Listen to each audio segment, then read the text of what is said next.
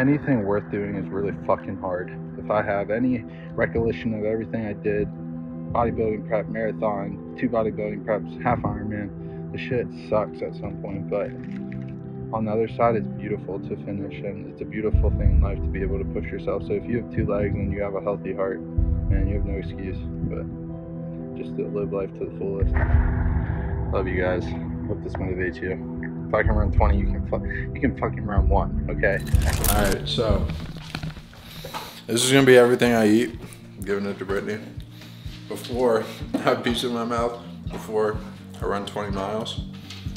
So right here we're gonna Okay, have like no, chew it up. So right here we have.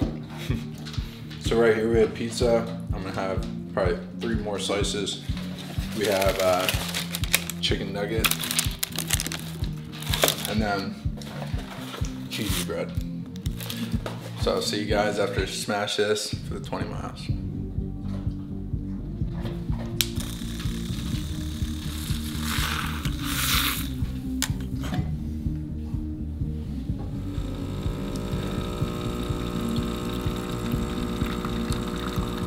All right, so as you guys saw, just chugged some greens. In that, it was just greens and fiber. I like to have that because I like get my micronutrients in before a run, just because I think maybe my body will pull from it, and then uh, fiber just to uh, get the bowel movements going. And it's just, I think the best thing to do is to be consistent with what you take.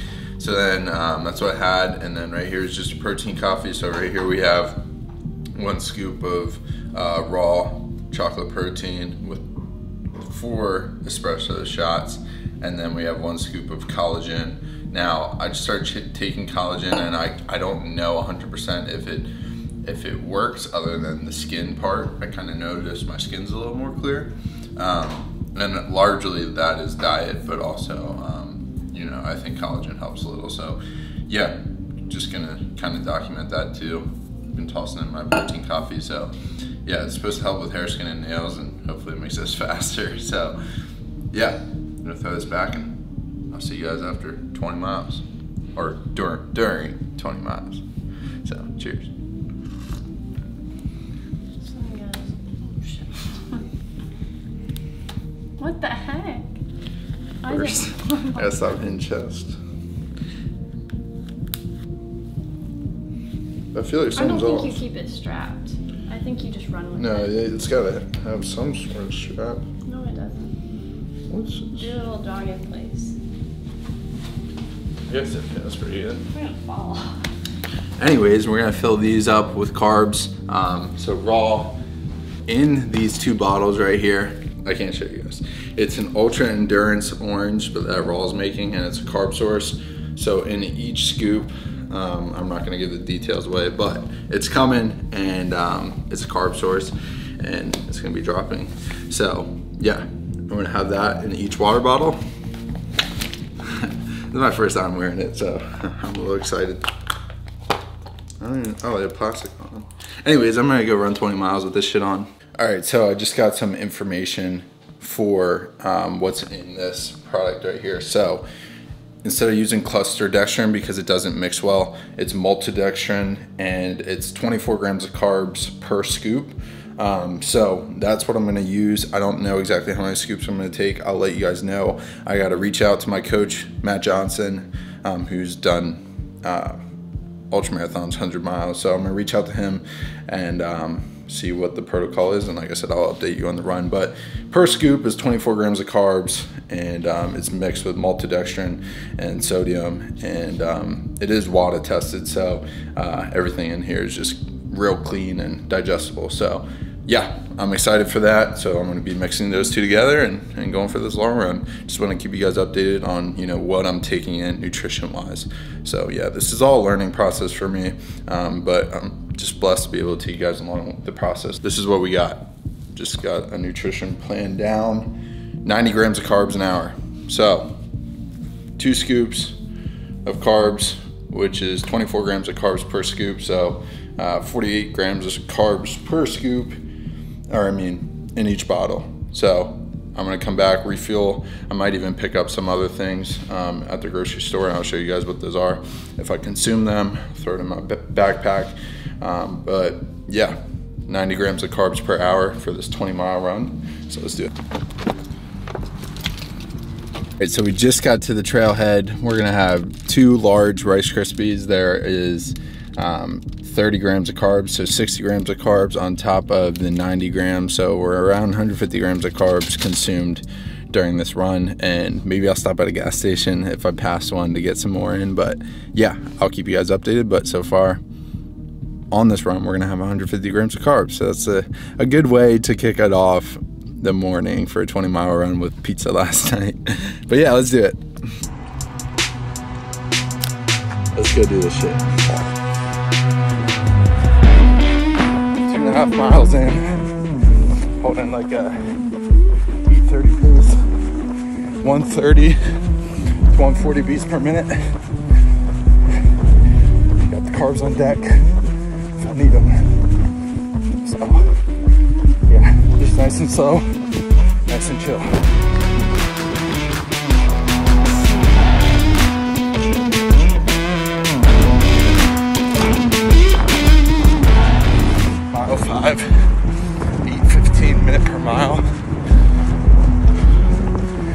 Around 150 and 140 beat, beats per minute, so I'm gonna bring the pace down just so I don't burn out. Remember, be the tortoise, not the hare.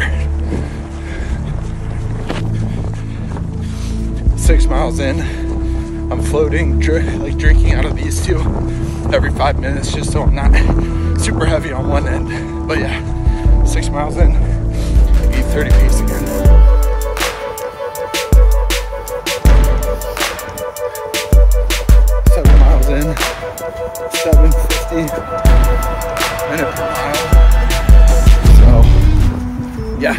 slow it down though, because we got, what is it, 13 more miles, so a half marathon left. Gonna stop at mile 10, eat a Rice Krispie, and we'll see when we consume the rest of our carbs. Still got a decent amount in here, probably like one more scoop in each bottle. So, yeah, trying to be disciplined with how I'm consuming the fuel, making sure I'm staying ahead of it, not behind. Nine miles in, holding an eight minute flat pace almost. Time for a Rice Krispie treat. Gonna throw this back and continue running. So this is like my first time ever really considering how important it is to train with like carbohydrates. Actually makes a big difference. I'm such an idiot. I always think I can like just power through it without it. It's like the bodybuilder type aesthetics in me where I'm like carbs are bad, but 10 miles in to this long run. Going through a little eerie cave. Know, this reminds me of the cave, paint cave I'll be in. But eventually, everything gets easier and the shit opens up. Your day gets better. Everything seems to make sense. If you ever felt what I mean, that's what it means to battle through the hard time. Everything eventually starts to make sense. You keep pushing through that tunnel, everything will brighten up. Just some some thoughts on my 10 miles. I love this because I can really fucking analyze myself and just stir up some thoughts and wisdom that get me through these runs. So, yeah, almost at 10, no more turning around. We are 15, almost 16 miles in. Gonna have another Rice Krispie. Um, need some fast acting carbs. So I'm gonna have the Rice Krispie and then I'm practicing my stopping and starting and fueling because every five miles I'm gonna have an aid station during the 100 mile race. So just practicing on recovering from each five mile interval and uh, slowed down a bit, 826 pace. So we're right on track, but anything worth doing is really fucking hard. If I have any recollection of everything I did, bodybuilding prep, marathon, two bodybuilding preps, half Ironman, the shit sucks at some point, but on the other side, it's beautiful to finish, and it's a beautiful thing in life to be able to push yourself. So if you have two legs and you have a healthy heart, man, you have no excuse. But just to live life to the fullest.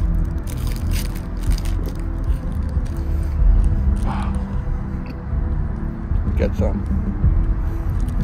Get some Rice Krispies. Just believe in yourself. just like that, wrapped up. 20 miles. Stop to get some water.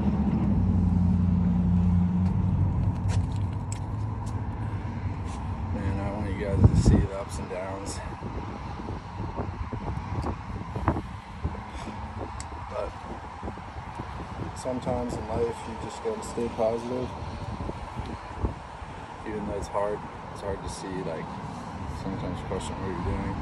Or sometimes you might be like, no, I want to give up, but I promise it's worth it. I'm so glad I finished the 20 miles. Yeah, I don't, I don't ever, I don't necessarily feel fucking amazing, but I, I'll feel amazing, and I do feel amazing that I did it, and I, I went through it.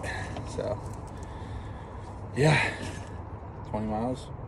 Now I'll show you guys what the rest of the day looks like. I'm just gonna be raw with it. I don't know if I'm gonna be able to eat as much food as I, I say I'm going to because I feel like a little uneasy in the stomach from sloshing around, but I'm trying to get used to that. So, and, you know, my gut can process it on the race, and it won't be too big of an issue.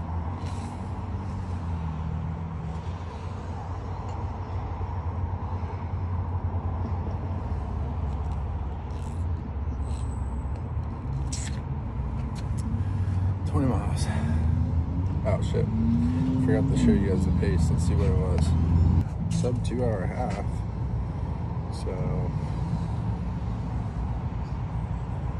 let's see. Okay, what? It, oh shit, it's pretty good. Eight thirty-five minute per mile. So you guys want to see it? Believe me. Twenty miles. Love you guys. Hope this motivates you. If I can run 20, you can you can fucking run one. Okay.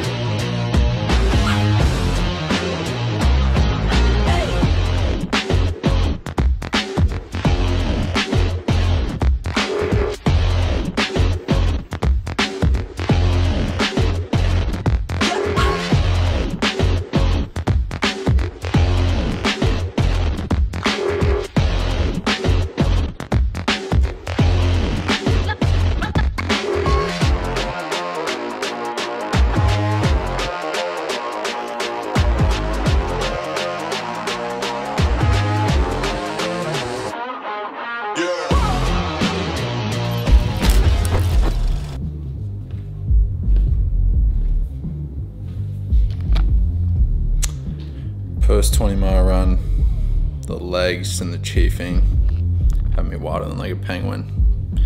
So I think, didn't you say it because I'm wearing too tight of underwear? No, you need to wear tighter. So I need to wear tighter underwear. So if you guys have any experience with chafing, let me know in the comments because, yeah, I never get this shit, but man, my, my inside of my legs are on fire right now. All right, so for dinner we have eight ounces of 95% lean beef. We're cooking up some rice and um, the microwave, and then we have roasted or air fried potatoes, and um, that's gonna be 400 grams, and then 150 grams of rice, like I said. And I'll show you guys the macros. Also, I'll add an avocado to this and show you guys everything. Put in the macros, and yeah, that's gonna be a full day of eating. And um, yeah, I'm just gonna show you guys what that looks like. And yeah, full day of eating, running 20 miles, and uh, experiencing some unreal amount of chafing, which is new, which is fun. So yeah.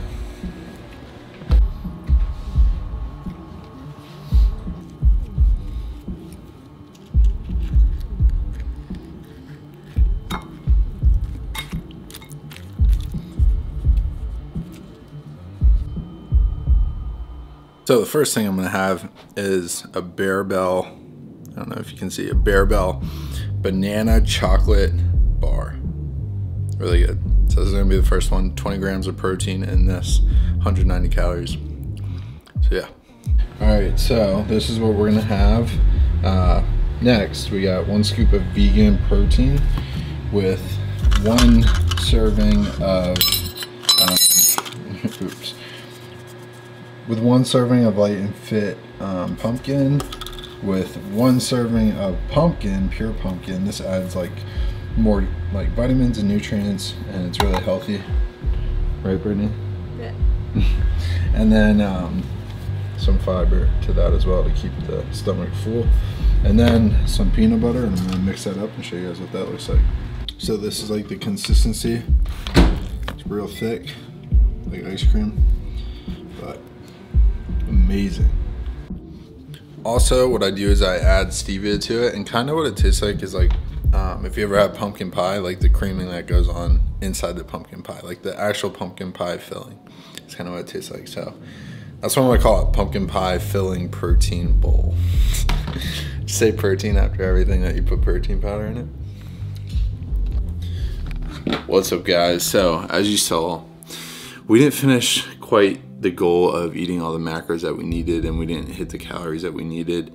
And it's the next morning and I ran 20 miles and yes I feel it extra today. I feel really tired as you guys can probably tell. I just woke up but I also feel just really tired in general a little fatigued. So today is just going to be catching back up again. Um, so yesterday I was supposed to eat like I said like 34 to 3500 calories and I, I only ate like 2600 so or 2700 so yeah. I'm gonna account for the calories i didn't eat so i have to eat normally during the week when i'm not running. Since today's an off day i'll eat you know 2600 2700 calories. Um, so if there's ever a time where you have a goal and you don't hit it it's about what you do in a weekly's time. So i have to add 600 calories to today or maybe I'll do 300 today and 300 tomorrow. So that would put me at instead of eating 2700 calories on my rest days because I have two rest days I'll eat um, 3000 to 3100 so the next two days to replenish my carbs and my glycogen and that's where those calories would come from either carbs or fat. Um, just because those are the two energy sources the body mainly uses. Um, so with that being said you know, if you ever mess up on your diet or whatnot and you don't hit the amount of calories that you want or you go over, you can always pull away from different days because it's what you do over a period of time, not just one day. Yeah, it's important to be consistent, but life happens. Like I said, I didn't feel the best yesterday, so I didn't get the log on my food. Um, but with that being said, that's the video. Hope you guys like it. The pizza was amazing, at least, but Anyways, like, comment, subscribe, stay corn fed. I'll catch you guys in the next one, episode four of Ultra Prep. So, we'll see you then.